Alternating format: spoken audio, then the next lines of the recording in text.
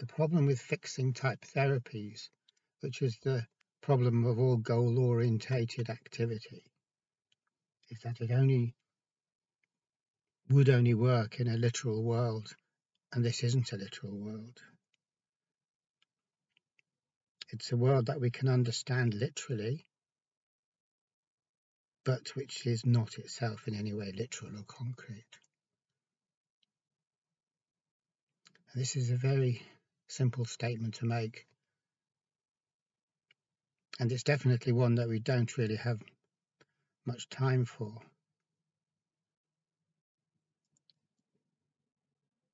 We tend to think of it as being pointlessly philosophical to discuss the absolute reality of things and the absolute reality of the world that we take for granted.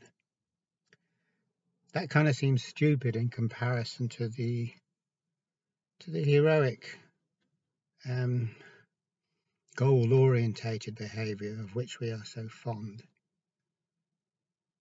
After all, it's much there's much more kudos in being able to do the thing against all the odds to succeed in obtaining the prize than there is in questioning whether the prize is real and whether the goal actually exists outside of our head.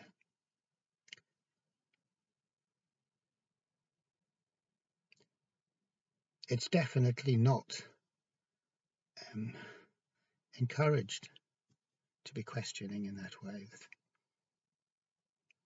And the reason we can say that the reason for that is because all literal or concrete realities are games. I we agree that we will look at things this way. And then if you're playing a game, the compulsion is to not question the game because playing the game equals not questioning the game. So it becomes very, very uncool within the context of the game to start getting to start becoming philosophical. Philosophy is a box over there. All the other things are boxes somewhere else. So, for example, psychology and therapy, they're all boxes over there. They've got nothing to do with philosophy. They used to. They used to be, for example, the existentialist philosophers and the existentialist psychotherapists, and they're both coming from the same place. But that's not really how things are now. Now it's all boxes.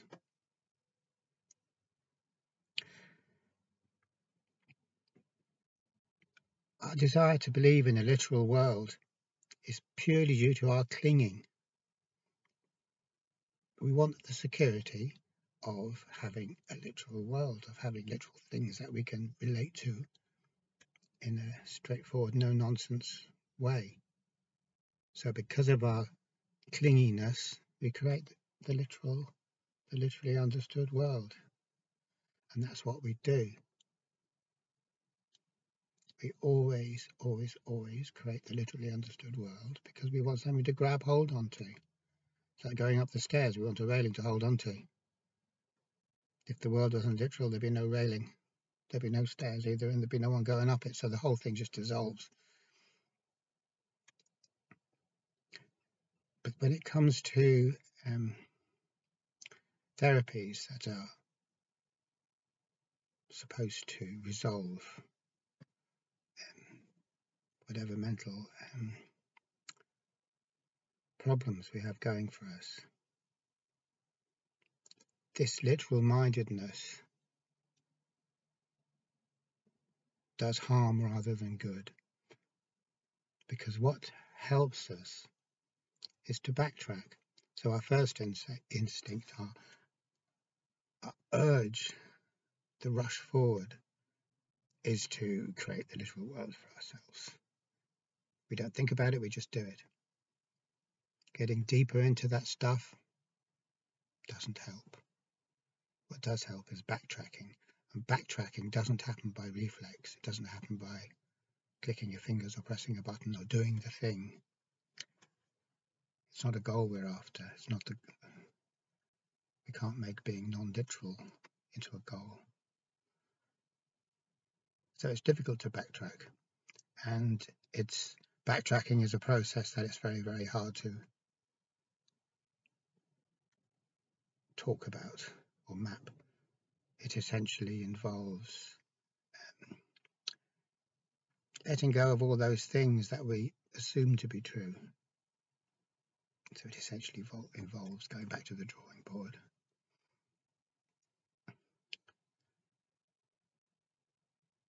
So fixing isn't that at all. Fixing is going forward into an increased realm of literalism. And the thing that happens when we use fixing therapies is that we reify our concepts, we reify our assumptions. So what that means is that when we look forward in terms of solutions, we confirm the problem as being a genuine bona fide problem. We confirm whatever issue it was that was tormenting us as being a real issue that needs to be solved, absolutely needs to be fixed. So then this puts us in this kind of dynamic where we're fleeing from a literally understood problem towards a literally understood goal. And our sense of how well we're doing in this dynamic depends on how much we're able to believe that we're going to reach this literally understood goal. So the whole thing is kind of um, a nonsense, really, because in no way does it have anything to do with reality. Reality has nothing to do with our reification, with the reifications of our assumptions, or the reification of our concepts, and making them unquestionable so that we can then do all sorts of things on behalf of them, or from the standpoint of them.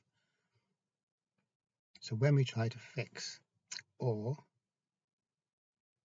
defend ourselves or promote ourselves or obtain goals, which is the same as promoting ourselves, when we try to do that, instantaneously and in a flash, we create this idea of ourselves that needs to be fixed, that needs to be promoted, that needs to be maintained or defended and then all the attention's on the fixing, the promoting, the defending, the maintaining, etc., etc., none of it is on this reified assumption. So at that point, we're in, un in unconscious mode. We're playing a game that we don't know to be a game. The game is how things would be if the reified concept weren't a reified concept, but was actually a bona fide reality. So we can play that game. Say, okay, well, let's just say that this arbitrary idea I have of myself is absolutely, fundamentally, irrevocably who I am.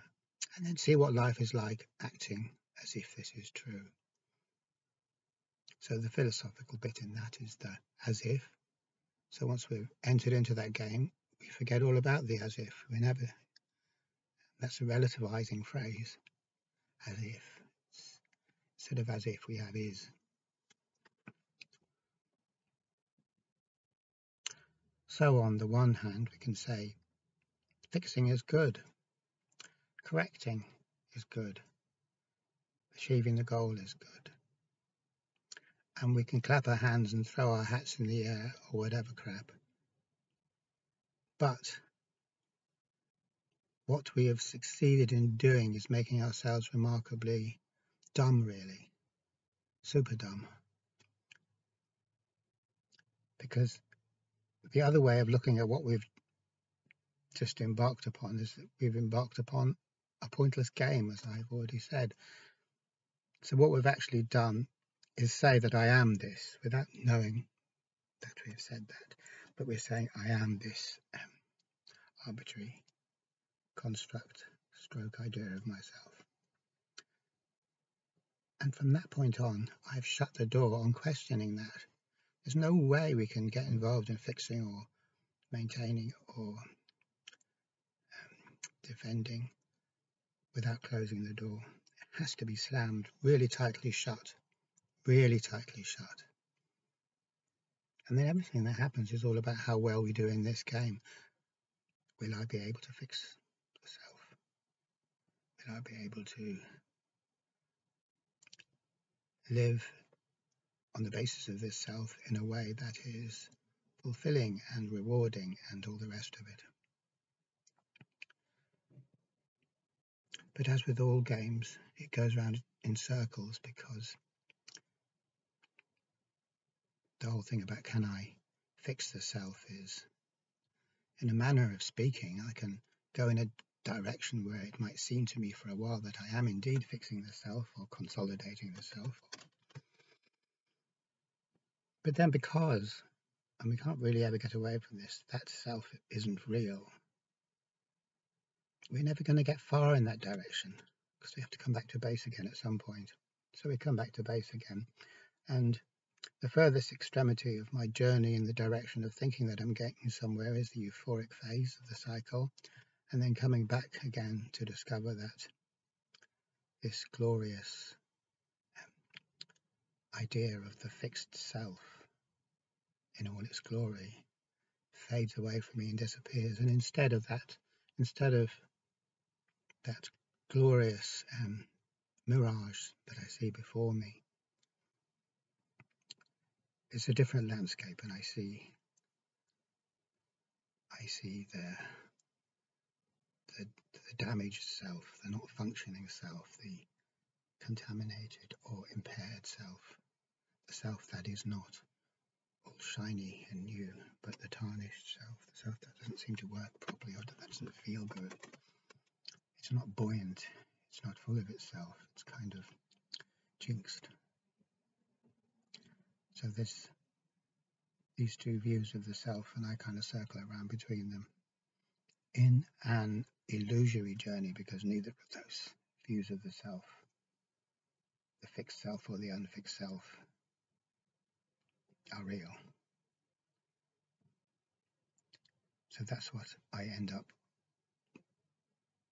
doing. I end up involving myself in that particular circle again, which is the circle that we always involve ourselves in.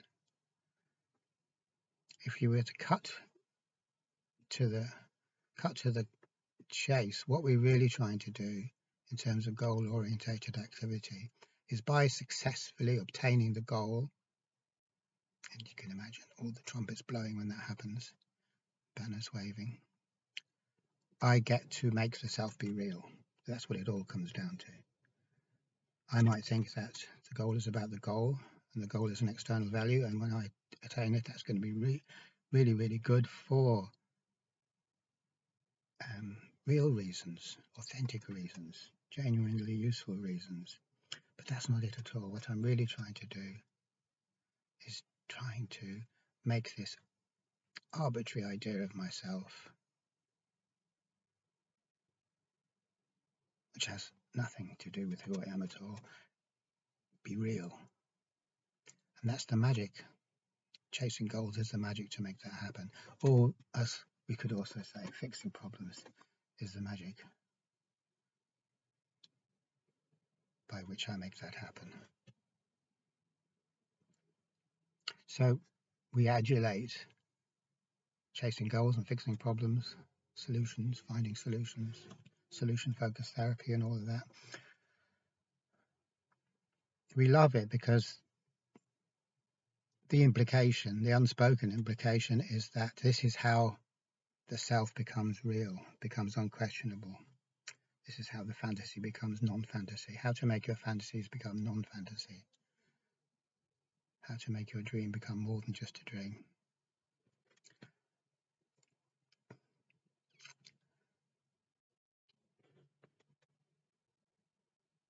So that's all pretty futile stuff. And what we're talking about when we're talking about all this fixing, controlling, maintaining, promoting is simply is simply controlling.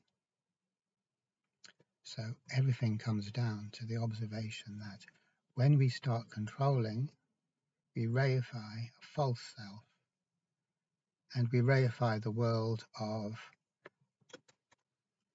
that false self's fortunes, whether it's going to do well or do badly.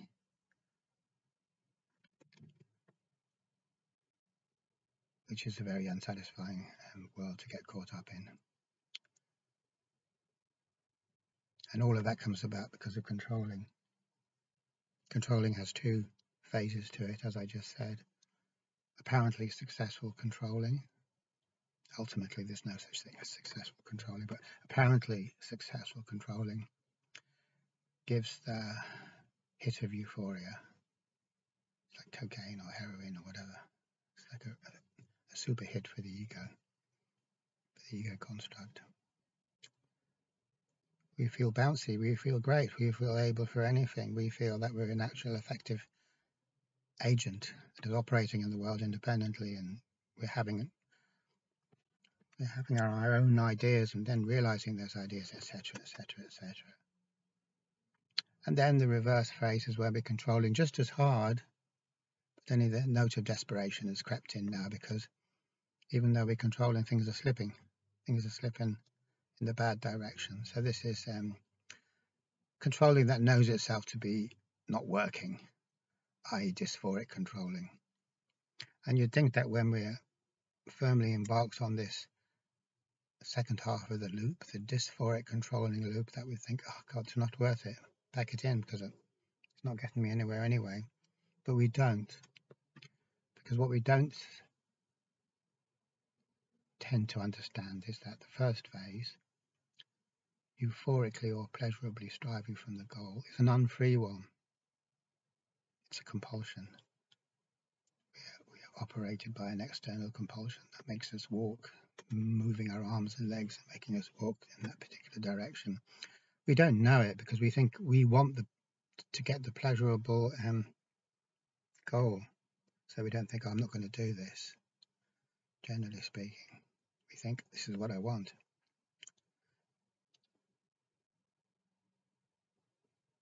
And because that phase of the loop is compulsive, completely unfree, so is the other loop, fighting to save ourselves even when we, we realize that we can't and that our fighting or struggling isn't working. That's compulsive as well. Ask anyone who's anxious, can you stop being anxious? Can you stop striving for the goal that you've started to realize that you can't attain? And of course they'll say no. It's not possible. We've bought into it with the pleasurable striving, the euphoric controlling, and now we're reaping the other side of the coin, which is compulsive or unfree, failed controlling, dysphoric controlling. So that whole territory, that's all there is in it. All there is in the territory is un, unfree stuff, compulsive stuff. So we're, we're a puppet the whole way. And no matter what starting off point we choose, no matter what idea of myself I might choose, it's always the same circle, and that circle is always, always, always the same. There's nothing um, at all different between any circle or any loop that exists for any defined point or defined self that we choose to identify with. The defined point or the defined identity is that loop, and that loop is the same as in every single case. Sometimes the loop might take longer, Sometimes it goes around quickly, sometimes it goes around slowly. But it's the same in either extent, in either case. So it's very clear that controlling isn't going to be the answer, not when it's the false self that we're dealing with. How could anyone say that controlling is the answer? Who is controlling and for what, on whose behalf? We have to look at the blind spot of controlling. The blind spot is who's doing it? And the answer is nobody's doing it. It's doing itself. It's a compulsive loop.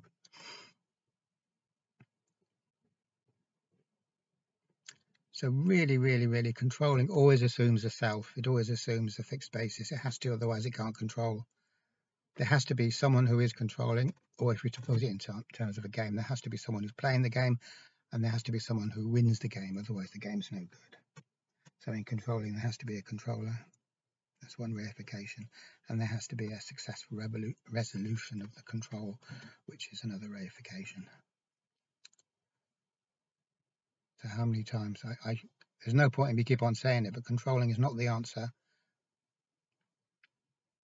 when it comes to um, mental health, when it comes to um, the distressing mental health conditions. Our gut instinct is to control. and People all around us will tell us to control, but controlling is not the answer. The answer is deconstructing. The answer is going back to the drawing board, not going further into the ever more increasing reification, literalization. So if you wanted to tell someone how to go further into deeper literalism concretism, all you have to say is control. Just keep on controlling. Or trying to control, it makes no difference. Trying to control has the same effect. And if you wanted to say something about how to go back the way, you'd say, stop controlling, give it up, give up your old controlling. See what happens then. Of course, we're much too frightened to do that, but that's the um, that's the only way to freedom. Psychologically speaking, I'm not talking about controlling in all as all these aspects. I'm only talking psychologically because controlling is needed in day-to-day -day life. We control the cars we drive so that we don't smash into oncoming traffic. So that's good. I thoroughly recommend controlling the car whenever you're driving. So don't don't um, misread that. But what I don't recommend is controlling when you're suffering from anxiety or anxiety or or depression or any of the mental health conditions.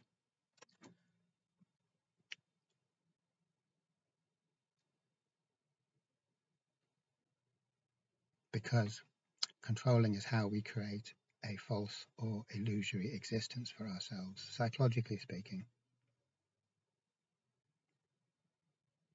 When we stop controlling, then reality can begin. Reality can come back. Only, only, only when we stop controlling. Controlling can't make reality come back. Not controlling makes reality come back. But The question is, how do we how do we do that? How do we stop controlling?